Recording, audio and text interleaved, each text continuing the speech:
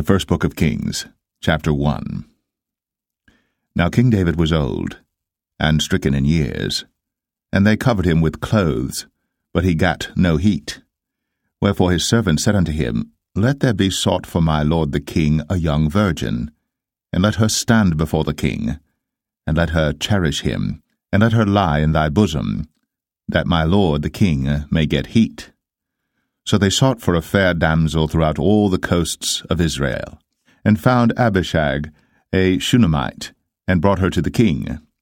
And the damsel was very fair, and cherished the king, and ministered to him. But the king knew her not. Then Adonijah the son of Haggith exalted himself, saying, I will be king. And he prepared him chariots and horsemen, and fifty men to run before him. And his father had not displeased him at any time in saying, why hast thou done so? And he also was a very goodly man. And his mother bare him after Absalom. And he conferred with Joab the son of Zeruiah, and with Abiathar the priest, and they, following Adonijah, helped him. But Zadok the priest, and Benaiah the son of Jehoiada, and Nathan the prophet, and Shimei, and Rei, and the mighty men which belonged to David, were not with Adonijah.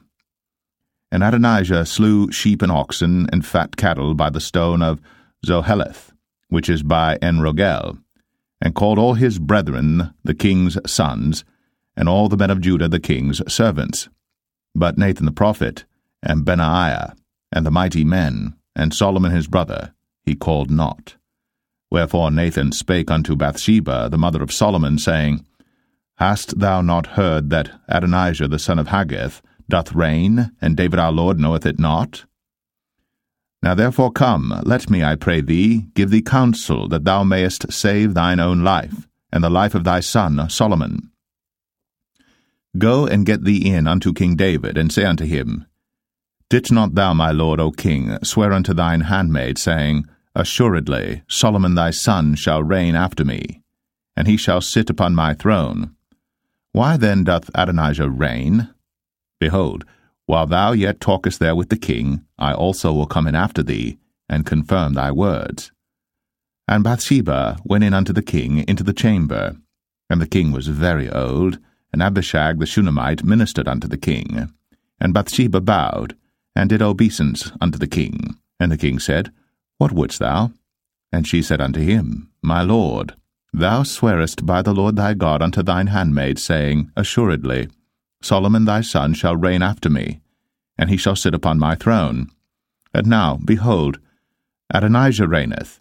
And now, my lord the king, thou knowest it not.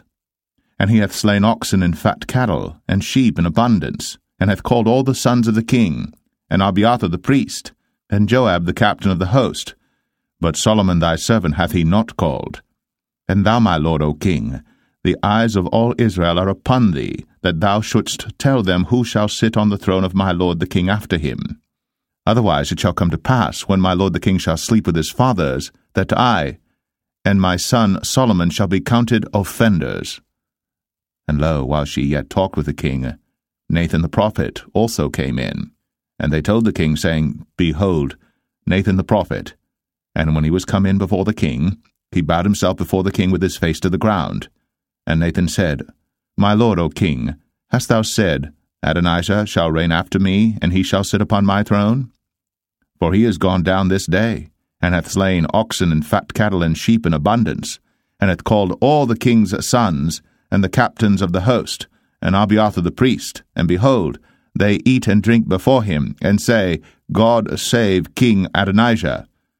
But me, even me thy servant, and Zadok the priest, and Benaiah the son of Jehoiada, and thy servant Solomon hath he not called. Is this thing done by my lord the king, and thou hast not showed it unto thy servant, who should sit on the throne of my lord the king after him? Then King David answered and said, Call me Bathsheba. And she came into the king's presence, and stood before the king. And the king sware, and said, As the Lord liveth, that hath redeemed my soul out of all distress, even as I swear unto thee by the Lord God of Israel, saying, Assuredly Solomon thy son shall reign after me, and he shall sit upon my throne in my stead, even so will I certainly do this day. Then Bathsheba bowed with her face to the earth, and did reverence to the king, and said, Let my lord King David live for ever. And King David said, Call me Zadok the priest, and Nathan the prophet, and Benaiah the son of Jehoiada. And they came before the king.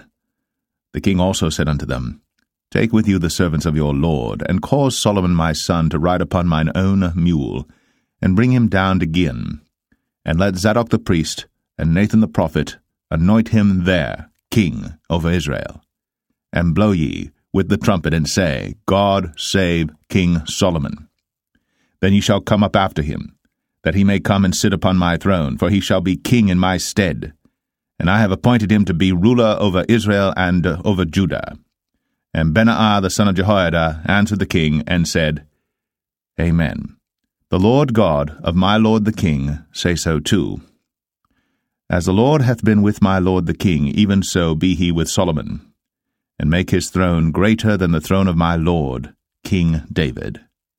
So Zadok the priest, and Nathan the prophet, and Benaiah the son of Jehoiada, and the Cherethites, and the Pelethites, went down, and caused Solomon to ride upon King David's mule, and brought him to Gihon.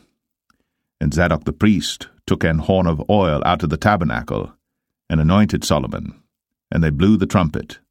And all the people said, God save King Solomon.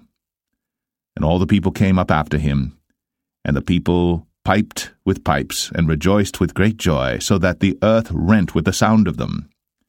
And Adonijah and all the guests that were with him heard it as they had made an end of eating. And when Joab heard the sound of the trumpet, he said, Wherefore is this noise of the city being in an uproar? And while he yet spake, behold, Jonathan the son of Abiathar the priest came. And Adonijah said unto him, Come in, for thou art a valiant man, and bringest good tidings. And Jonathan answered and said to Adonijah, Verily, our Lord King David hath made Solomon king.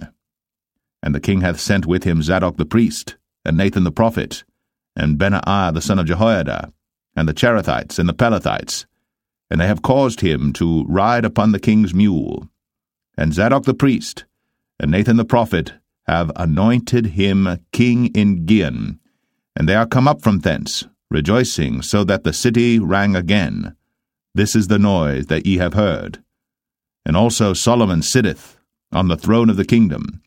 And moreover, the king's servants came to bless our Lord King David, saying, God make the name of Solomon better than thy name, and make his throne greater than thy throne.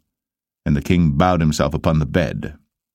And also thus said the king, Blessed be the Lord God of Israel, which hath given one to sit on my throne this day, mine eyes even seeing it. And all the guests that were with Adonijah were afraid, and rose up, and went every man his way. And Adonijah feared because of Solomon, and arose, and went, and caught hold on the horns of the altar. And it was told Solomon, saying, Behold, Adonijah feareth King Solomon.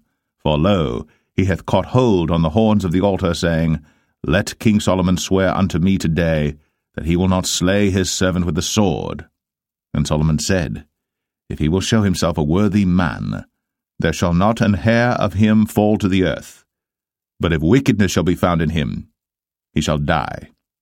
So King Solomon sent, and they brought him down from the altar, and he came and bowed himself to King Solomon, and Solomon said unto him, Go to thine house.